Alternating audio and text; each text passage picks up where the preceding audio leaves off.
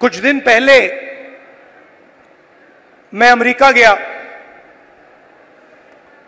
America में मेरा programme Texas में था और किसी ने मुझे कहा कि टेक्सास में हरियाणा के युवाओं से मुझे मिलना चाहिए। पता नहीं आपने वीडियो देखा, नहीं देखा? देखा? देखा। मैं आज आपसे उस वीडियो के बारे में बोलना चाहता हूँ। क्योंकि अगर आज आप हरियाणा को समझना चाहते हो तो जो भी समझना है, उस वीडियो के अंदर है। सबसे पहले जब मुझे बताया गया कि हरियाणा से हज़ारों लोग, पंद्रह बीस हज़ार लोग अमेरिका गए हैं। मैं हैरान हुआ। हरियाणा से इतने लोग अमेरिका क्यों जा रहे हैं मेरे दिमाग में सवाल उठा। और फिर मैं डैलस में आपके भाइयों से एक छोटे से घर में जाके मिला। मैं आपको बताना चाहता हूँ, आपके भाई डैलस में एक कमरे में पंद्रह बीस लोग सोते हैं। मैंने उनसे पूछा, आप अमेरिका कैसे आए? देशों की लिस्ट दे दी। पहले हम यहाँ गए,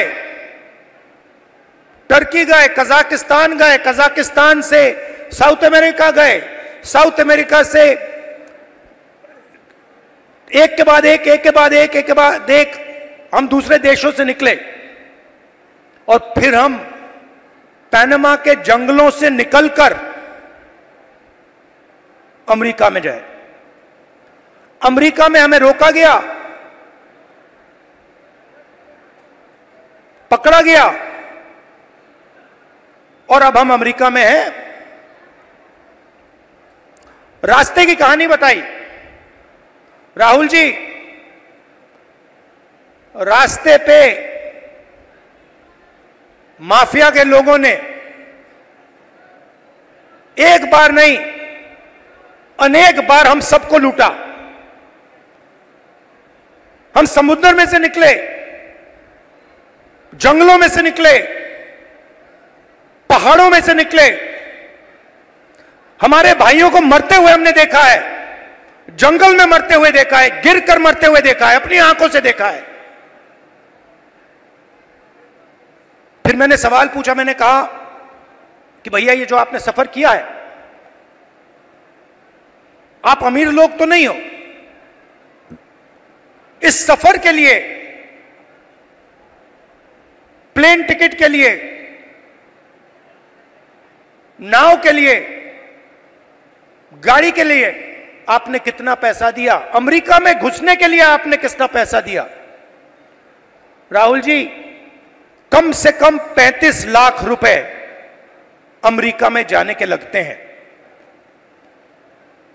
फिर मैंने सवाल पूछा, भाई एक बात बताओ, आप 35 लाख रुपए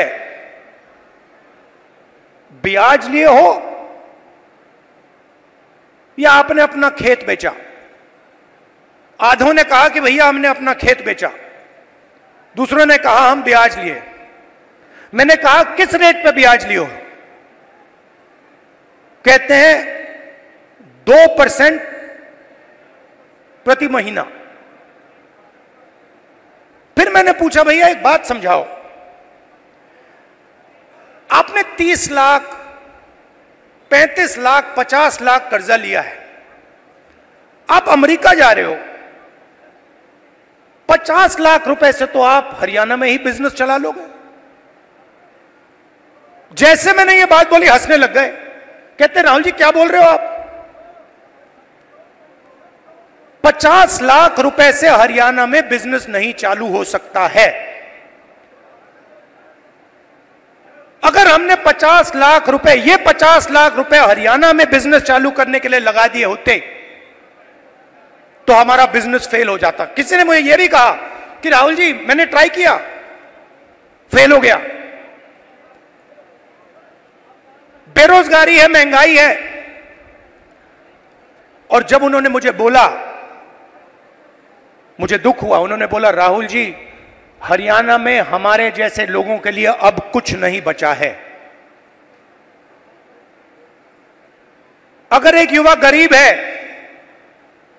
अरबपति का बेटा नहीं है तो ना उसे बैंक लोन मिल सकता है, ना वो बिज़नेस चालू कर सकता है, ना वो पब्लिक सेक्टर में जॉब पा सकता है, ना वो आर्मी में जा सकता है। एक के बाद एक एक के बाद एक एक के बाद एक एक के बाद एक सारे दरवाजे आपके बंद कर दिए गए हैं।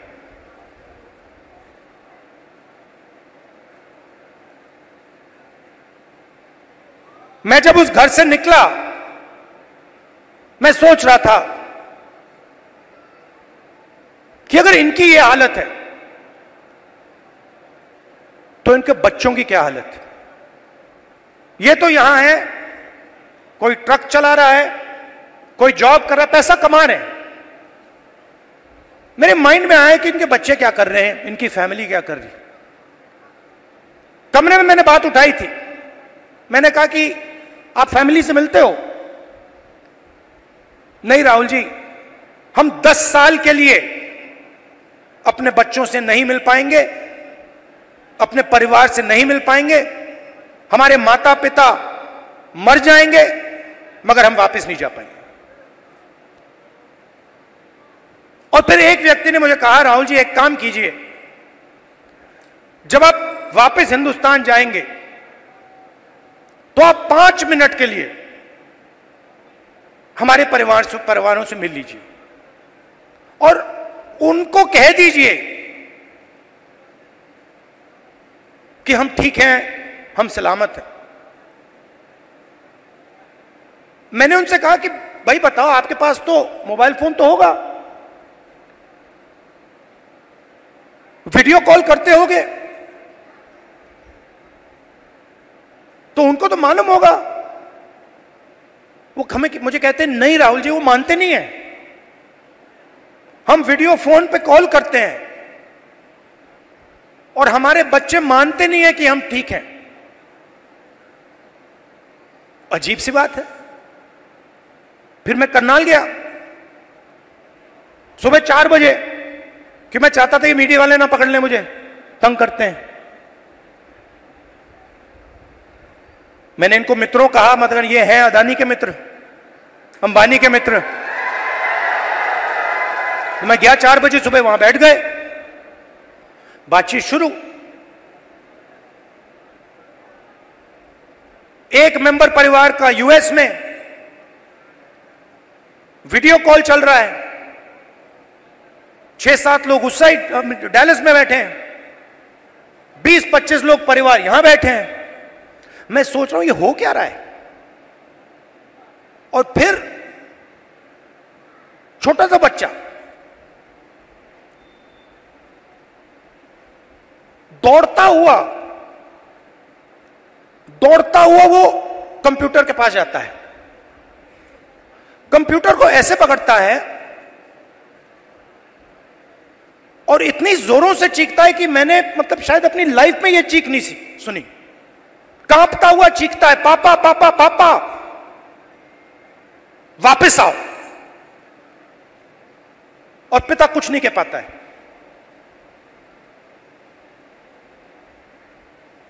देव को,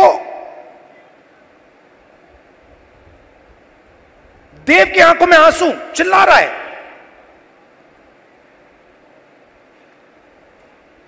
और पिता हज़ारों किलोमीटर दूर मुस्कुराने की कोशिश कर रहा है। नहीं, मैं ठीक हूँ। किसी ने कहा, बच्चा इमोशनल हो गया। मैंने माइंड में सोचा कि इमोशनल हो गया। इसके हर रोज सीने में छुरे लग रहे हैं। इमोशनल शब्द का क्या मतलब है? वो अपने पिता को दस साल के लिए नहीं देखेगा, छू नहीं पाएगा, गले नहीं लग पाएगा। क्यों?